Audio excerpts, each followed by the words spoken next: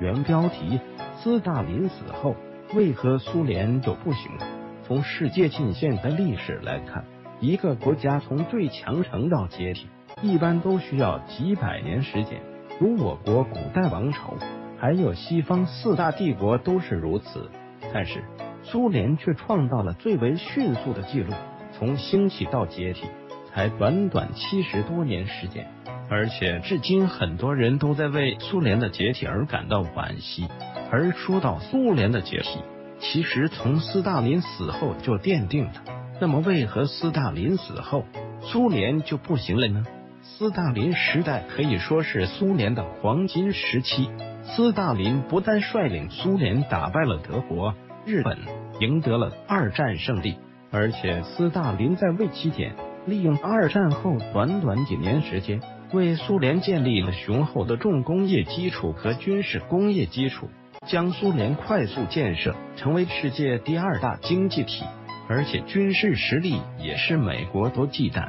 当时综合国力直接成为世界第二个超级大国，可以说整个苏联在斯大林时代是蒸蒸日上的。按照当时那个趋势，苏联很快能够成为世界最繁荣的国家。而斯大林一九五三年就去世了，而斯大林去世后，苏联就逐步不行了。在赫鲁晓夫时代，经济没有取得大的进展，而且问题严重。到了勃涅日涅夫时期，更是病入膏肓，调整改革都是来不及了。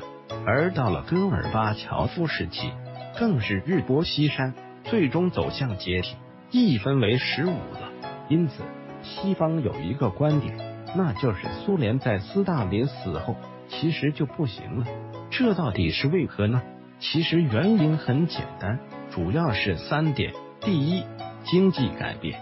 在斯大林时代，苏联执行的是以全力发展一个工业部门、逐步完善的政策。斯大林首先集中全力发展重工业，然后是军事工业。最后是轻工业和生活服务业等，但是斯大林在一九五三年去世后，继承位子的赫鲁晓夫没有继续下去，而是继续发展重工业和军事工业，使得苏联产业结构开始严重头重脚轻，到最后到了不可挽回的地步。这一点直接奠定了苏联解体的基础。正是因为斯大林的死去。才使得苏联逐步陷入重工业和军事工业陷阱，到现在都改不过来。第二，路线的改变，在斯大林时代，主要的精力都放在国内建设上，所有资源都拿去经济发展、改善基础设施、推动经济进步，才使得经济快速发展，取得良好的效果。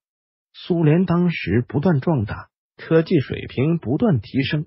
经济蒸蒸日上，当时斯大林目标是将苏联建设成为发达国家。但是斯大林死后，苏联政策变成对外扩展，不断花钱援助其他国家，不断穷兵黩武，发展军事，发展武器，使得经济开始逐步陷入停滞。这一点严重影响苏联的国力。苏联在还没彻底富裕的情况下，拿出几千亿援助。买影响力，买武器，能发展才怪。第三，不再进行理论创新。从国家发展层面来看，只有不断的与时俱进，调整政策，实行新的理论发展，国家才能持续进步。这也是我国现在不断进步的基础。但是斯大林以后，苏联的领导人安于现状，志得意满，不再理论创新，开始吃老本。因此无法创造增量价值，坐吃山空，最终走向衰落，走向了解体。所以斯大林死后，苏联就不行了。探究历史真相，发现背后故事，对待历史必须较真。更多精彩，请关注“还原历史真相”，返回搜狐，查看更多责任编辑。